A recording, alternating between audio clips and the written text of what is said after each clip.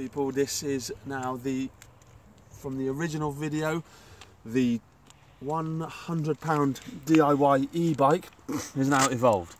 Um, we've now added a front hub motor. So that's it. That's right. We now have a two-wheel drive mountain bike, and it's all done um, for a little bit more uh, cost than what we had before.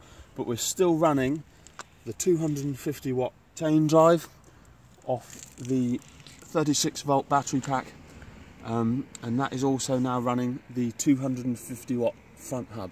Um, I know someone said to me, why not go 500 watt or 1000 watt? Well, as I understand the, the letter of the law here in the UK, you are limited to 250 watts.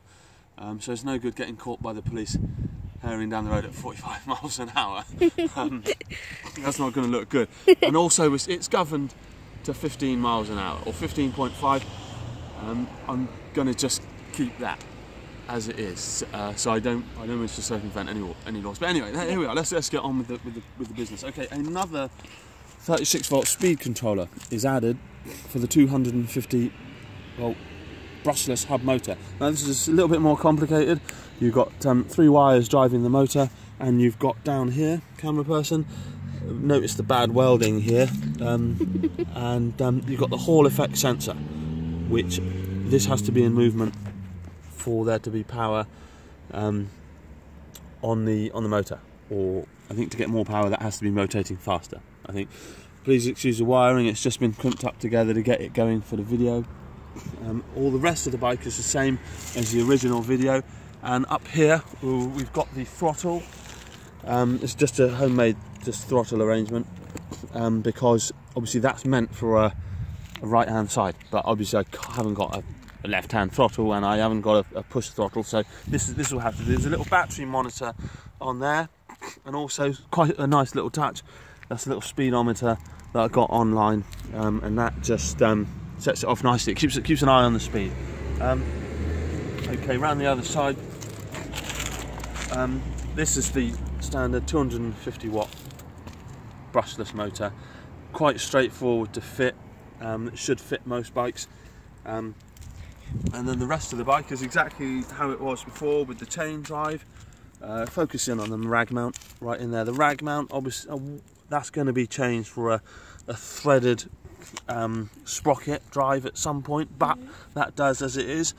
Um, your rag mount is actually a sprocket bolted to a rag mount sprocket, um, which works okay. It's a little bit low in terms of ratio, that could do have been a bit smaller, but it works quite good. You can get a lot of extra power up a hill with it, um, but it does cut out quite early. And um, I've got no uh, intention to de-restrict it as such. Okay, let's go for a little spin then, shall we? Okay. Um, right, just um, go around here on, on both the motors um, and then see what it's like. Okay? Yeah.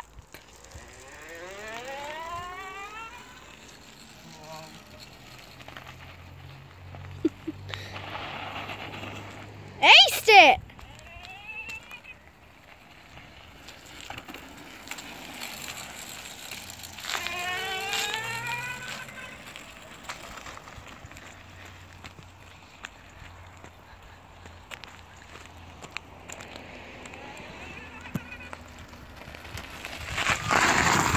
So that's just the front wheel on its own. no, that's I did back wheel and front wheel. That's just the front wheel on its own. Liz, focus on the front wheel. Got it. That's the actually really really surprisingly powerful for just 250 watts.